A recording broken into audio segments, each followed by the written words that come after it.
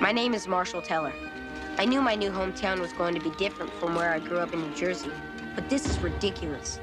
Nobody believes me, but Eerie, Indiana is the center of weirdness for the entire planet. Item. Elvis lives on my paper route. Thank you, little paper boy. Item. Bigfoot eats out of my trash. Item. Even man's best friend is weird. Still don't believe me? You will.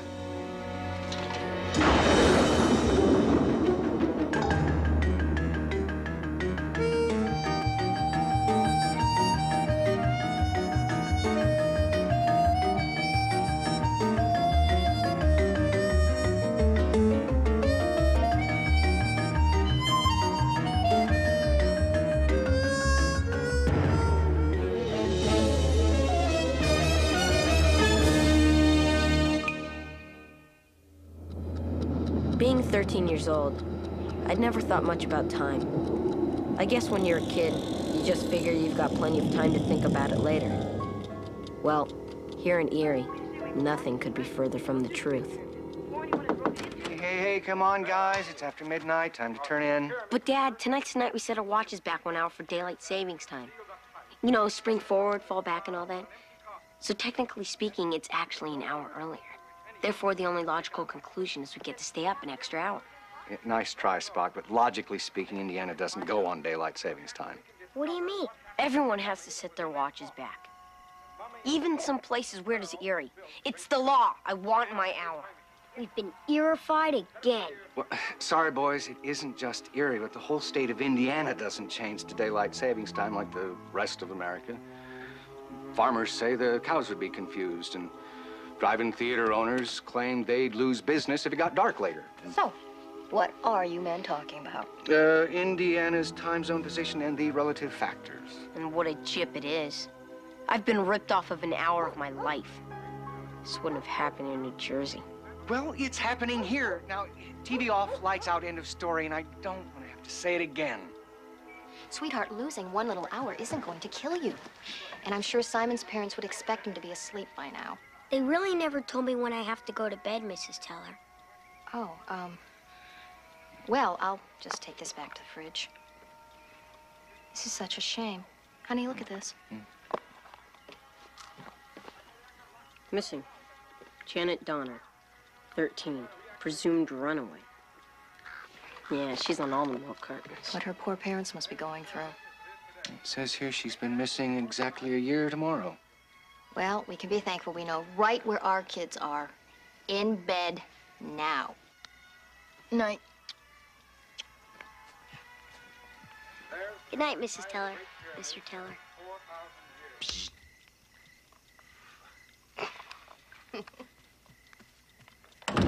You know, Simon, maybe that girl on the milk carton had the right idea. I mean, think of the advantages if we ran away. We could stay up as late as we wanted. We wouldn't have to follow our parents' rules. We wouldn't have to live in Eerie. I don't care what anybody says. I'm gonna set my watch back like the rest of the planet. Nobody rips off an hour from Marshall Teller.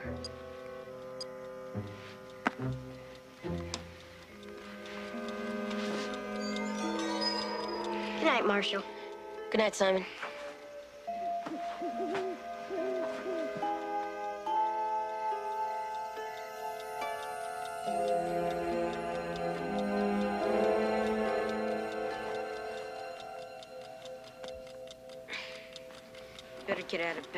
Dead man, Simon.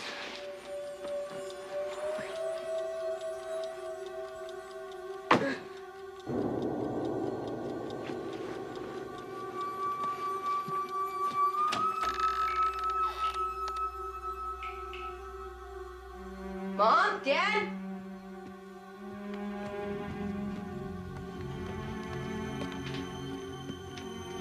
Anybody here?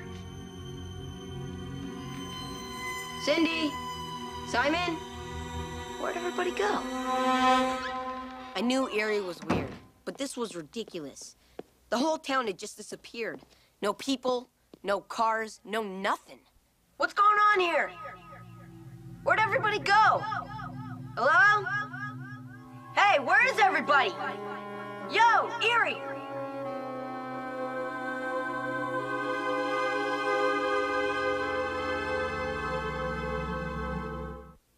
Eight o'clock, Sunday morning, and no kids playing. No lawns being mowed, and not even one car driving. I had lived in Eerie long enough to expect the unexpected, but this was really creepy. Just when I was starting to accept the fact that I had been abandoned by the whole world, I saw them.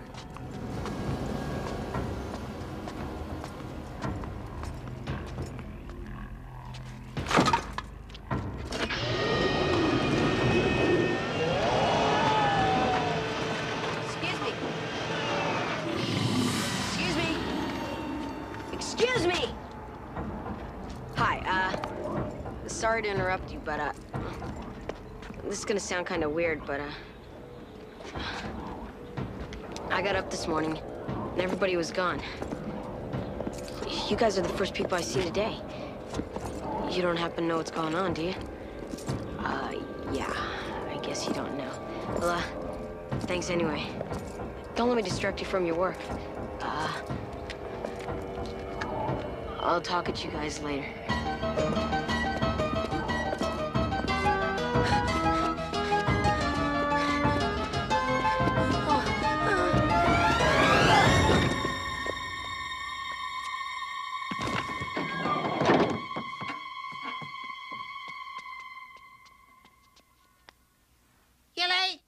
Come.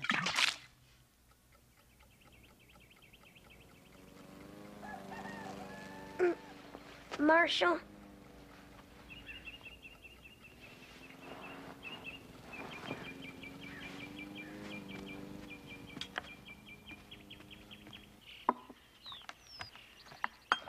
It's alive.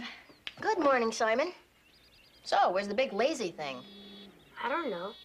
I thought Marshall was already down here having breakfast. He probably just doesn't want to come downstairs. I think I was a little rough on him last night. Maybe I should go talk to him. Oh, God, not that experimental coffee cake again. That girl in the milk carton had the right idea. I mean, think of the advantages if we ran away. Uh, you know, Marshall's been talking about taking up jogging lately. That's right, I forgot. He's out jogging. Hmm. Well, he better get back soon or else he's gonna miss his breakfast. Dad, this coffee cake is a tad chewy. Yes, it is.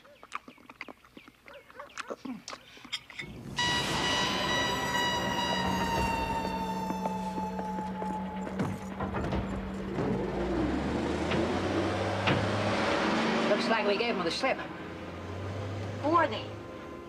What do they want? Where's everybody? Who are Pipe you? down, kid. You're giving me a headache. Wipe that milk off your chin. Just how old are you anyways? 105 and a half. That's old. Now, please, shut up and listen. Well, first of all, those trash collectors are not your friends. Tell me something I don't know. Like, where is everybody? Well, everybody's right here, except not exactly right now. Huh? Well, you see, uh, everybody exists just like you left it. Except they're one hour ahead of us. Huh? You've disrupted the space-time continuum, causing an anomaly with sufficient gravity and mass to transport you to an alternate dimension. Huh? Well, just let's say you screwed things up big time when you set your watch back and you wound up one hour behind everybody else in Eerie. Welcome to the lost hour. Yeah? No. Really? I mean, I did set my watch back because I wanted my extra hour. Oh, man. So who are those trash guys? Oh, they work here cleaning up. Cleaning up what? Things that don't belong here, matter that needs to be destroyed to keep time on schedule. Matter like me? Uh, I'm afraid so. If they don't get rid of you, the space-time continuum could collapse. Yeah.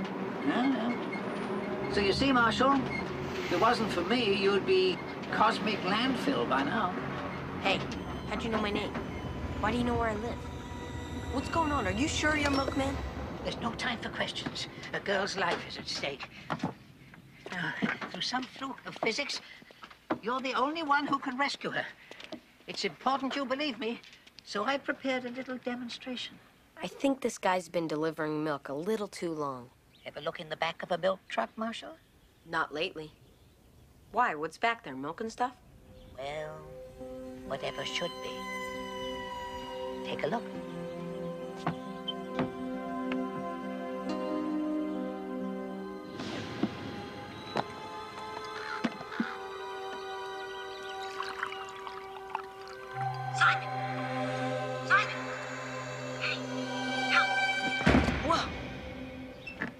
Pretty cool, huh? Now listen, kid. There's another kid running around who doesn't belong here, just like you. Only she's been here for a year. Now, I need you to, to find her and to convince her that I can get the two of you out of here. Why didn't you tell her yourself? Oh, no, no. She didn't last a year talking to strangers. No, no, no. This kid's smart. She wouldn't come to me or the trash collectors, but, but you, now you're a kid. You she'll believe. And you can convince her that she can still go home. Why should I trust you? Catch. Because I trust you. Hey, these are my dad's car keys. Well, they ain't Captain Kangaroos. now, you go get her, and you'll be back before, uh, uh, 9 a.m. lost hour time. And not one second later. Maybe this crazy old milkman was telling the truth. Or maybe he's one of those garbage men in disguise. Either way, I wasn't hanging around to find out. No, no, no, no, please, that way. Come on, come on. If you're gonna get stuck in a time warp, this is the way to do it. No parents, no cops. 13 and I own the road. And this road's gonna take me out of Eerie and back to Jersey. Even with no traffic, Jersey was a few days away. So I decided to stop by the World of Stuff for supplies. I didn't have any money, but seeing as how nobody existed anymore, figured it was okay.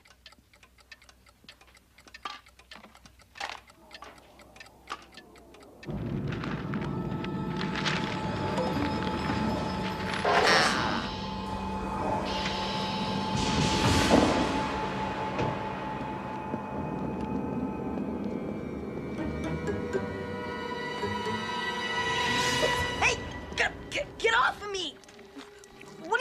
doing? You. You're that girl in the milk cart.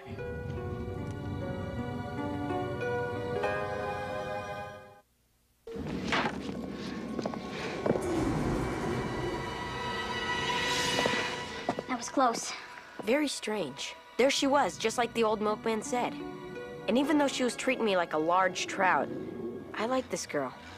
It's hard not to like somebody who saves your butt as an introduction. You could take the net off me. I'm not gonna bite you. Not till you tell me who you are and what you're doing here. I'm Marshall Teller, and you're, uh, Janet something. How'd you know my name? Like, you're famous. sort of. I mean, your face is on every milk carton in Eerie. You've been missing for a year. What are you talking about? I'm not missing.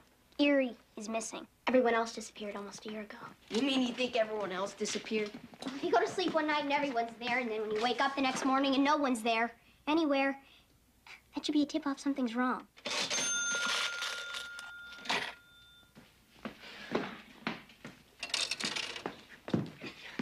But this old guy told me everyone's still here, just not in his time zone. Right. They're not in Standard Time. No, I know this sounds crazy, but, well, I thought I was the last kid on Earth. Then those garbage guys tried to grab me. Then I met this weird, super old milkman, and he said that we're in the lost hour.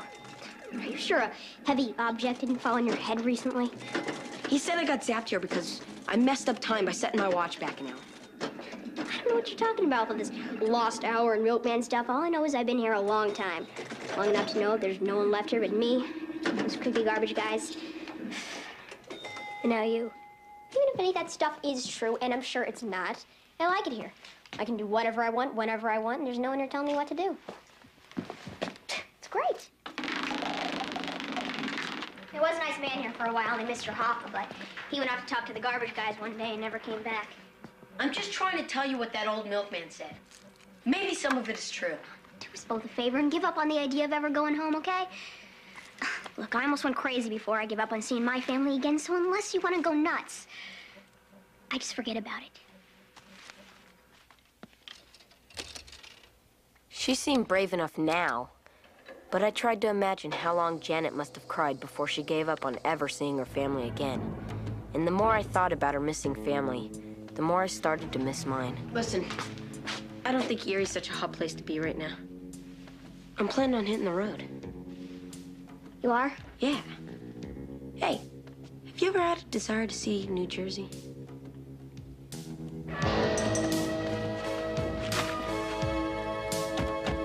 Better wear a seatbelt. I don't even have a learner's permit. This is so cool. Hey, can we go to Disneyland on the way? Sure. Hey, let's go to the Grand Canyon. How about Hollywood? Yeah, and I've always wanted to see Las Vegas. Hey, cool idea. Let's go.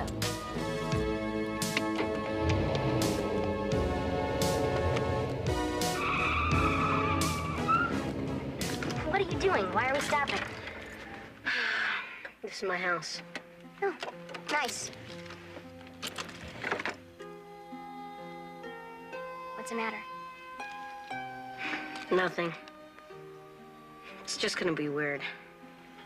You know, not having a home to go back to. Kinda gonna, like, you know, miss it. I know what you mean. Oh well, better get going. Marshall, look!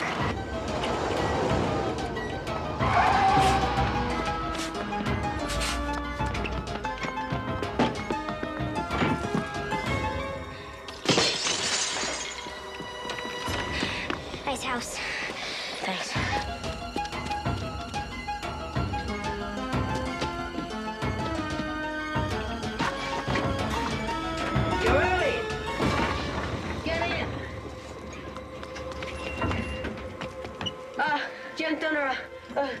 Mr. McMahon. Hi. Uh, we met before. Really? Yeah, long time ago.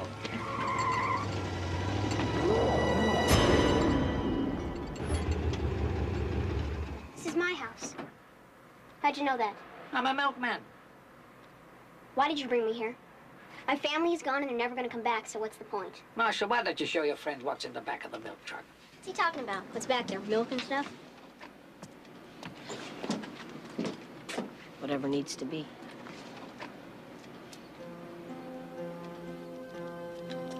Well, uh, maybe just a look.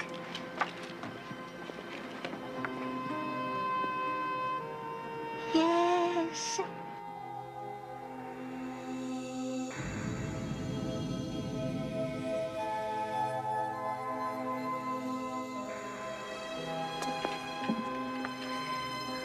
I just saw my family through that window. Cool, huh? Marshall, I want to go home. Now, if you were Dorothy and this was Oz, you'd just have to click your heels together three times and bam, back to Kansas. But unfortunately, this is Eerie. And getting you back to Indiana is going to be a little more complicated. You see, time is like a Mobius strip. And when you stop... Save the technical mumbo jumbo. Just tell us how to get out of here. Oh, all right. Well, it's really quite simple. At exactly on the hour, if you are in exactly the same spot you were when you came over, and if you set your watch ahead exactly one hour to the exact correct eerie time, you'll wind up exactly where you want to be. Back home? Exactly. Oh, no. I left my watch back in regular time. Well, we can both use mine. Oh, no, no, no. No, it doesn't work that way. Unless someone can set your watch ahead one hour, you're going to spend the next 365 days running from those sanitation engineers. Got it. I knew you would. Simon!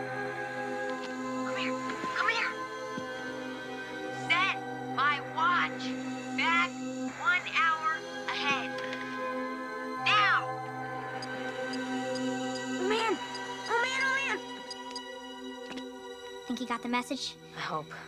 It's my only chance. Right now, you gotta get inside and save yourself. Thanks for everything, Marshall. If it weren't for you, I might have been stuck here for the rest of my life. Sorry about the fishnet. Uh, don't worry about it. I'll just have more compassion for Trotton. Two minutes! Hey, wait! See you tomorrow! Or today, or from now, or... See you later, Janet.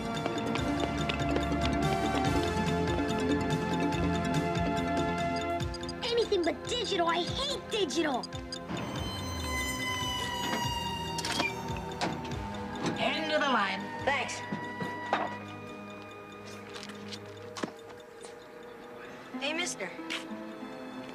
I just want to know one thing. Who are you?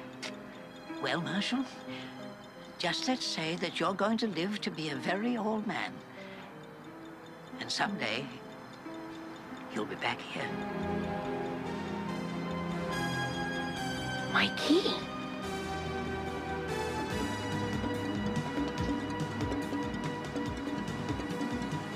You mean you're... I'm... We're...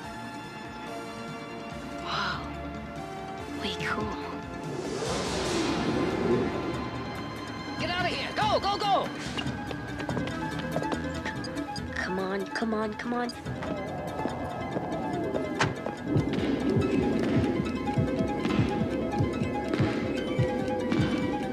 Maybe it's this button.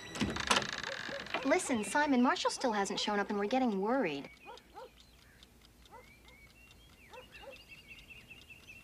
Be there in a sec.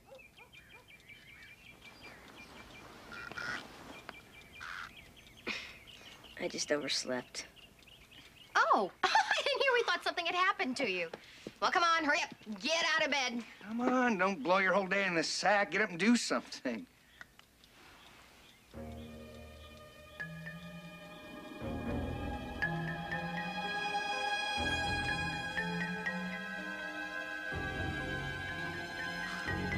And so, with the aid of my trusted partner Simon, I made it back to regular Eerie, if you can call it that.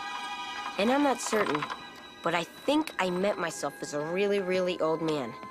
Maybe in 90 or so years, I'll find out for sure. As for Janet Donner, well, she was lucky. Her family had never given up loving her. Nobody could believe where she'd been. But it didn't matter.